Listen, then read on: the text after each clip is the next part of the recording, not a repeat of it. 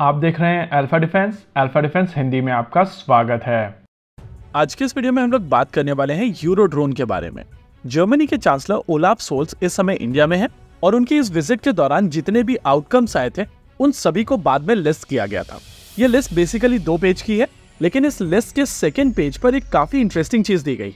जैसा कि अभी आप अपनी स्क्रीन के ऊपर पढ़ सकते हैं यूरोड्रोन प्रोग्राम में भारत को ऑब्जर्वर का स्टेटस देने की बात हो रही है। और जर्मनी उस चीज़ को एंडोर्स कर रहा है। इस वीडियो के दौरान हम लोग समझने की कोशिश करेंगे कि यूरोड्रोन क्या है, साथ ही ये भी समझने की कोशिश करेंगे कि इसमें ऑब्जर्वर स्टेटस का मतलब क्या है।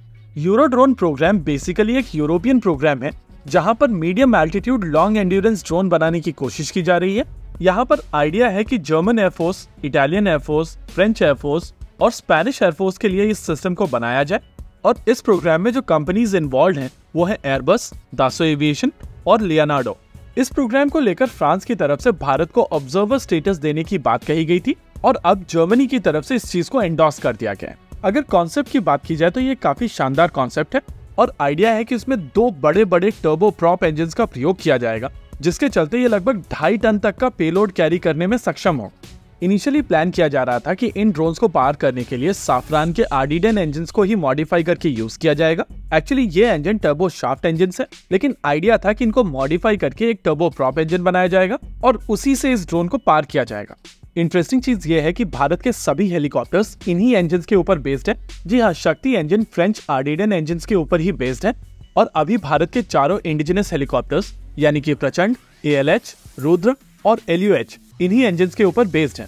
कुछ समय पहले भारत में एक प्रोग्राम इनिशिएट किया गया था, जहाँ पर आइडिया था कि इन्हीं इंजन को टर्बो प्रॉप इंजन में कन्वर्ट किया जाए, लेकिन उस पॉइंट ऑफ़ टाइम पर फ्रांस की तरफ़ से ऑफ़र आया था कि भारत यूरो ड्रोन प्रोग्राम के ऊपर एक ऑब्जर्वर बन सकता है और यहाँ से जो डेटा निकल कर आता है, वो भारत यूज़ कर सकता है। अनफॉर्चुनेटली ये प्रोग्राम डिले हुआ है और अब इसके ऊपर जाने वाला इंजन भी चेंज कर दिया गया है। कॉस्ट को बचाने के लिए आर्डिडेन इंजन को मॉडिफाई नहीं किया जाएगा। बल्कि off the shelf available American engine का प्रयोग किया जाएगा। इस ड्रोन को बनाने के लिए जनरल इलेक्ट्रिक के कैटलिस्ट इंजन का प्रयोग किया जाएगा और ये turbo prop engine pusher configuration में इंस्टॉल किए जाएँगे।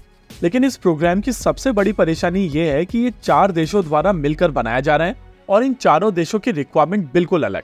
जर्मनी की तरफ़ से स्टार्टिंग से कहा जा रहा है कि उनको एक ऐसा ड्रोन चाहिए जिसमें दो इंजन हो ताकि एक बैकअप इंजन हमेशा अवेलेबल हो। वही दूसरी ओर फ्रांस की तरफ़ से इस प्रोग्राम को क्रिटिसाइज किया जाता है और कहा जाता है कि इसको एक काफ़ी हेवी एयरक्राफ्ट बना दिया गया है, जिससे इसकी कॉस्ट भी काफ़ी ज़्यादा बढ़ गई है। इनिशियली माना जा रहा था कि इस एयरक्राफ्ट की पहली उड़ान साल 2024 में हो जाएगी और अब माना जा रहा है कि इसकी पहली उड़ान साल 2025 में होगी। प्रोडक्शन को लेकर माना जा रहा है कि साल 2025 में ये प्रोडक्शन में चला जाएगा। लेकिन फिर बीच बीच में न्यूज़ निकल कर आती है कि इसकी पहली उड़ान साल 2027 में हो सकती है। वैसे जैसा कि हम लोग वीडियो में ऑलरेडी बात कर चुके हैं कि इनिशियली आइडिया था कि आर्डिडन इंजन को ही मॉडिफाई करके इस ड्रोन में यूज़ किया जाएगा। इस वजह से भारत इस प्रोग्राम में काफ़ी ज़्यादा इंटरेस्टेड था और इसी वजह से फ्रांस के उस प्रपोजल को लेकर भारत रेडी था। लेकिन अब जब ये फ्रेंच इंजन यहाँ पर ड्रॉप कर दिया गया है तो भारत का ऑब्जर्वर स्टेटस यहाँ पर प्रैक्टिकली एक कस्टमर के तौर पर ही बनता है। नए सेटअप के साथ में भारत हर तरीके के डेटा को प्रोजेक्ट के स्टार्ट से ही देख पाएगा और इसकी परफॉर्मेंस के बेसिस पर अगर भारत डिसाइड करता है कि इस सिस्टम को अक्वायर किया जाना है तो भारत इस सिस्टम को अक्वायर कर सकता है। ये ड्रोन थियोरेटिकली MQ-9B की तुलना में डबल पेलोड कैरी कर सकेगा और इसी वजह से आप इसको एक बॉम्ब ट्रक के तौर पर देख सकते हैं। लेकिन अनफॉर्चुनेटली दो इंजन के चलते इसकी कॉस्ट भी बॉम्ब होने वाली है। फ़िलहाल के लिए ये सारा का सारा डेवलपमेंट काफ़ी ज़्यादा इनिशियल स्टेजेस में है। और इसी वजह से ये देखना काफ़ी इंटरेस्टिंग होगा कि आने वाले समय में ये प्रोजेक्ट कैसे मूव करता है और भारत का ऑब्जर्वर स्टेटस यहाँ पर भारत को किस तरीके के डेटा का एक्सेस दिला पाता है। इसी के साथ आज के इस वीडियो में रखते हैं केवल इतना ही। वीडियो को अंत तक देखने के लिए धन्यवाद। देखते रहिए एल्फेड जय हिंद।